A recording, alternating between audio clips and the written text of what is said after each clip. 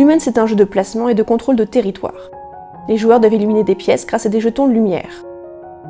Dans Lumens, chaque joueur commence avec un sac contenant une vingtaine de jetons lumière. Ces jetons sont recto verso et représentent des numéros 1 et 6, 2 et 5, 3 et 4. Lors de son tour, le joueur pioche un jeton au hasard et le place sur le plateau. Le premier se met dans un coin, mais les suivants doivent être posés en rapport avec un jeton déjà en place. Le joueur choisit l'un de ces jetons sur le plateau, compte autant de cases que le chiffre inscrit sur ce jeton, puis pose le nouveau à l'emplacement indiqué. Le déplacement se fait horizontalement ou verticalement, mais jamais en diagonale. Si le trajet passe par un autre jeton, le chemin est bloqué.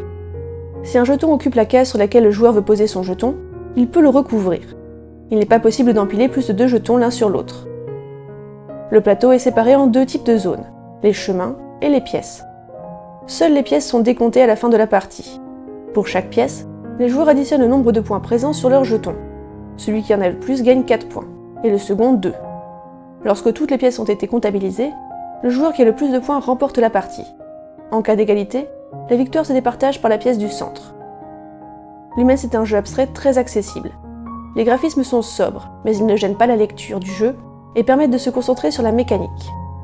Le plateau est recto verso, ce qui permet réellement de jouer de 2 à 4 joueurs.